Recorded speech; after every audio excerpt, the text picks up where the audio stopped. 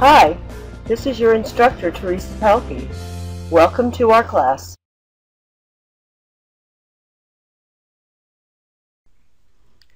Welcome to our second class. This week we will learn about variables and calculations. A variable is an identifier which stores some kind of data. We create a variable by using the var keyword, which is lowercase, followed by the name that we are giving to the variable. We use the assignment operator, which is the equal sign, to assign a value to that variable. Technically, this is called initializing the variable because we have given it a value at the same time we have created it. In this example, var, my name equals Teresa, we have the var keyword, the name to identify that variable, the assignment operator, which is the equal sign, the value that I have given be, to be stored in that variable, Notice that the value is enclosed in quotation marks because it is a text literal. And our JavaScript statement always ends with a semicolon. When you create a variable, you are assigning the value from the right to the left.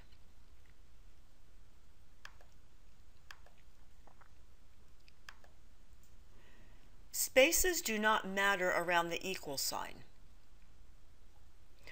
Or, and you can have many spaces between the keyword var and the name of the variable also.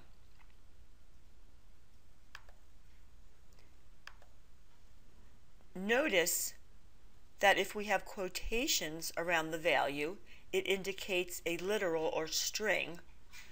We do not put quotations around a number because a number is primarily used for calculations. When we create a variable, name, it must begin with a letter, the dollar sign, or the underscore. It cannot begin with a number, but it can contain a number. It cannot contain spaces, punctuation, mathematical or logical operators. It cannot be a JavaScript reserved word, such as the keyword var. You will use either the camel case syntax or the underscore syntax if the variable name contains more than one word. Remember that JavaScript is case sensitive. So here is an example on the left of using the camel case syntax where the first letter of the second or third or fourth word is capitalized. In the right hand column, we have the underscore notation.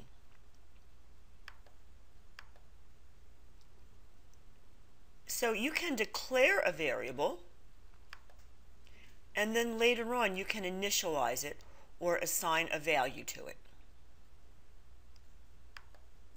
Or you can declare and initialize at the same time. You can declare many variables at once. And the names of those variables are separated by a comma. You can also declare and initialize many variables at once.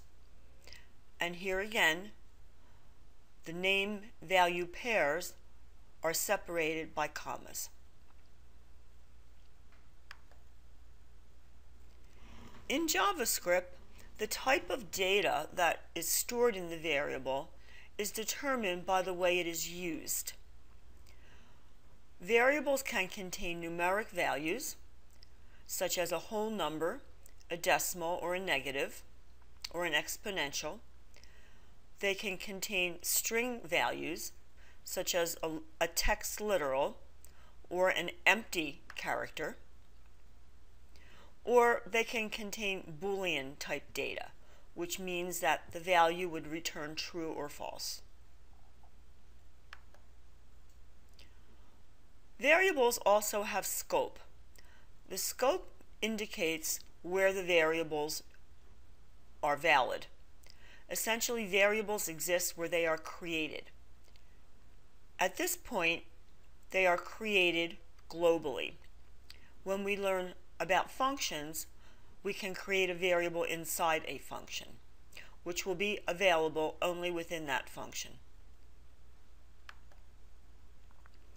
In JavaScript, we have the traditional arithmetic operators, the plus sign for addition, the minus sign for subtraction, the asterisk for multiplication, the forward slash for division, and the percent sign for modulus.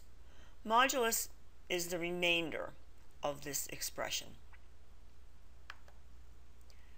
We also have what are called unary operators. The plus plus, which adds or increments 1 to the value, the minus minus, which subtracts 1 from the value. So the expression x plus plus would increment the value of x by 1. Notice there is no equal sign in, in this type of operator. We also have the shorthand operators, such as plus equal, minus equal, asterisk equal, slash equal. So let's take an example of what these operators do. To start, a basic equal sign, or the assignment operator, assigns the value from what is on the right to the left. Plus equal does the same thing, but it also, on the right-hand side, adds the starting value. The minus will do the same thing, add the starting value, and then subtract, etc. In JavaScript, there is an order of precedence of which operators are executed first. The plus plus and the minus minus are of the top order of precedence Multiplication and division are next. Addition and subtraction are last. If you use parentheses to group expressions, the expression in the parentheses will be performed and then the other operators will be performed next. Concatenation. To concatenate essentially means to join or put together. The plus sign, which is used for addition to add numbers, can also be used to concatenate or join strings. For example, if I were adding 1 plus 1 to numbers, the result would be 2 if I were to add 3 plus a text literal, because we can't add a number and text, JavaScript would concatenate these two values. Therefore, it would join them or put them together side by side. For example, the, the literal fire plus fox would be one word Firefox. Should we wish to have a space between those two words, we can also concatenate with the plus sign.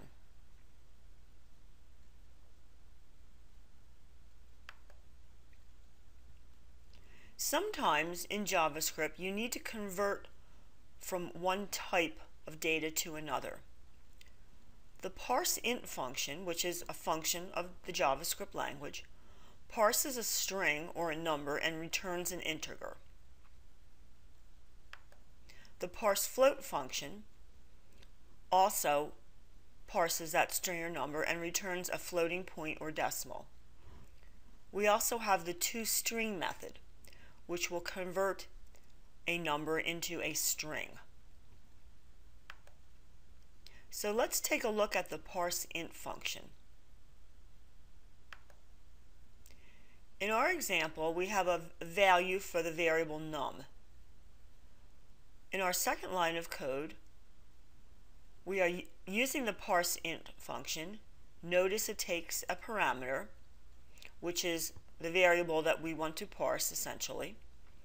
So we are performing that function and storing the new value back into the original variable.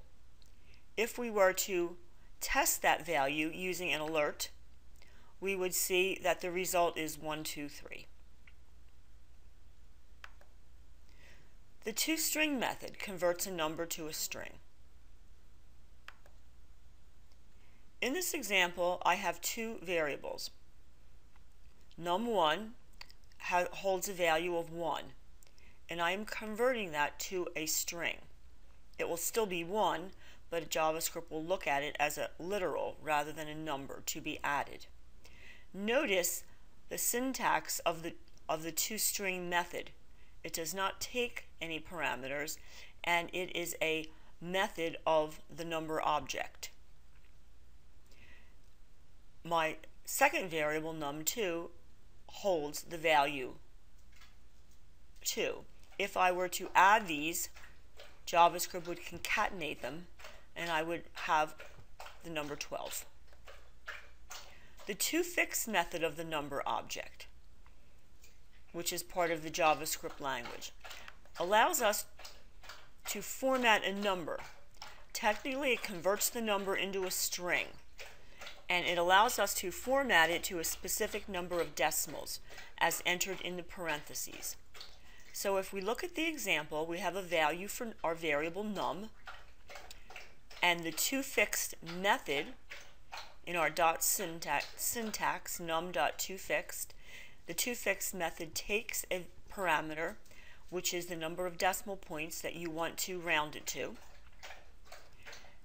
And if I were to use an alert to test this value, it would round it to 5.57. So this is technically a formatting characteristic. So if you were doing calculations with numbers, you would leave the numbers as long decimals throughout the calculation process at the very end, before you write to the page, you would format them.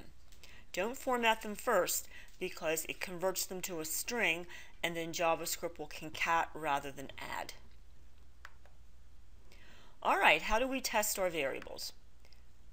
The Firebug add-on for Firefox, which is also available for other browsers, has a very nice little um, window that allows us to write expressions using the console.log method. So we can output the value of a variable or, ex or expression.